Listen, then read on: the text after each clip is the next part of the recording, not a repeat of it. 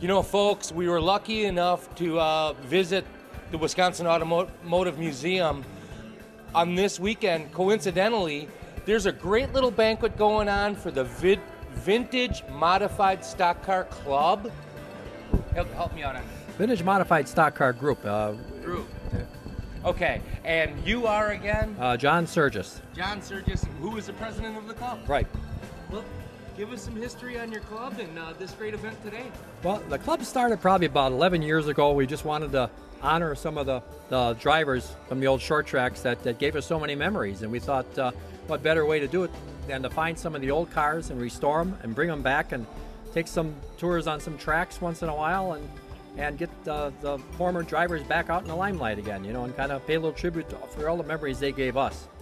It's an awesome event. I had a hot dog, and uh, just just uh, for history's sake, give us some uh, throw out some names that are here today. Well, Miles Melius is here. I, Mouse. I, Mouse. Uh, Bob Roble is here. He was he was very popular in the IRA, and uh, uh, Billy Engelhardt, who actually went all the way to Indianapolis and, and, and raced at Indy, and he started in the short tracks around Wisconsin.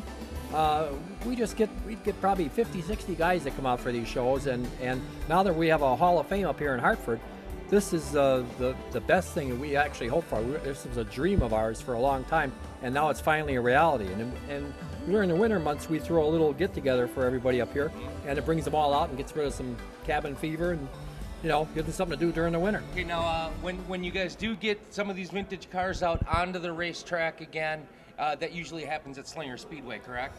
Well, Slinger is one, and that's just uh, they have a, a like a reunion night at Slinger usually in, in, in June, and we take them out for a couple pace laps and get all the former drivers out there.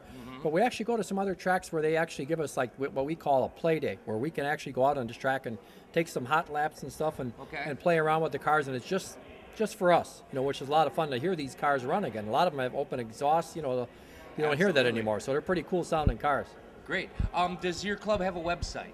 Yeah, we have a website. It's uh, it's uh, vmsconline.com, and Okay. that shows you kind of what we got to get it updated a little bit, but it shows you schedules and some of how, how our cars That was look. my very next question. Yep. If someone were interested in this and uh, wanted to come out and witness some cool racing with these sweet old cars, Yep. they would go there to find out the general information on when and That's where. correct. Otherwise, my number should be on there. You can contact me. I'd be glad to let everybody know. You know, Excellent.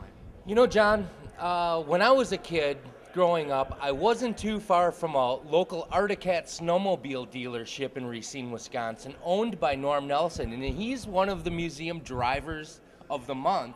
And uh, g- you know, give us a little bit, if you can, some history on the famous Norm Nelson. Well, Norm Nelson, uh, you know, started back in, in these modifieds, and uh, he raced way back, and he, had a, he actually had a Crosley station wagon, and uh, a real wild-looking car, and it was probably pretty much open. You could see his legs hanging out of the side of the car and everything. But he was a champ, I think, at Wilmot for, for a year, and then he started moving up into the late model divisions, and, and he was very successful in, in late model, and uh, the USAC stocks mainly. And he actually fielded a couple cars. I think Roger McCluskey drove for him Really? Yep, and uh, he ran up, you know, probably into the 70s. Uh, He had them, the Plymouth Superbirds, which are real Yeah. cool-looking cars, and uh, probably one of the most successful area stock car drivers in our time. Right. Well, thank you for that You're welcome. history lesson on Norm Nelson, right from Racine, folks.